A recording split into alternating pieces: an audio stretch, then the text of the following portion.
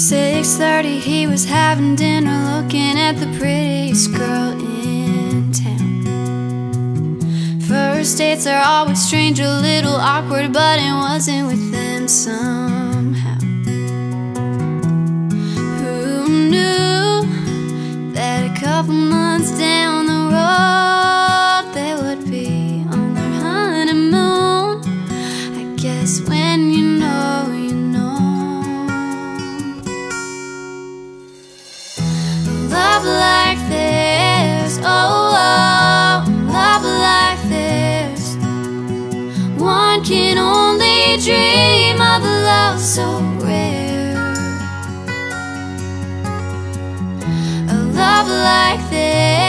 won't you hear my prayer?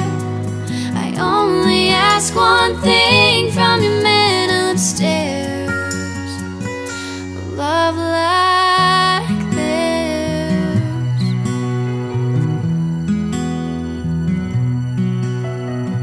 With five kids, life is messy, house is dirty, and it's easy to just give up. But they stuck together and their faith got stronger when their unborn child was lost. Who knew that the pain wouldn't last forever? No, not when you choose to go through it together.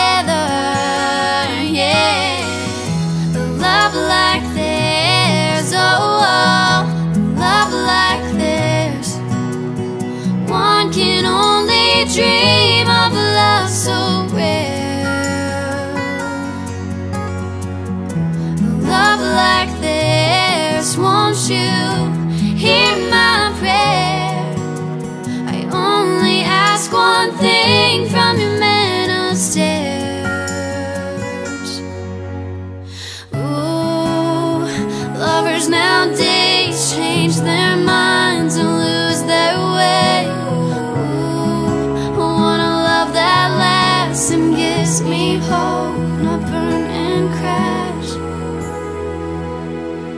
6:30, 28 years later, and the kids are all growing up. But daddy still looks at her like she's 20 years old, and he's never been more in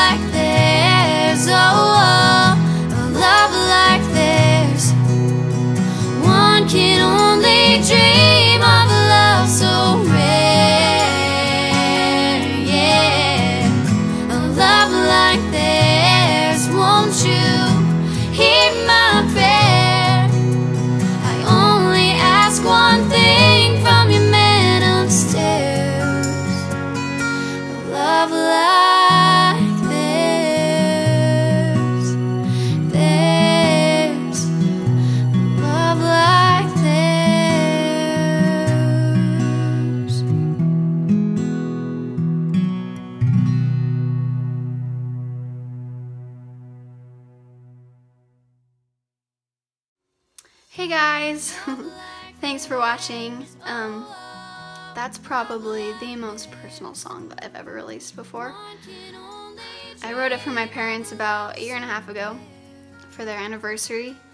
And the thing is, I didn't realize when I wrote the song that so soon after I would be finding a love like theirs. Um, I'm engaged.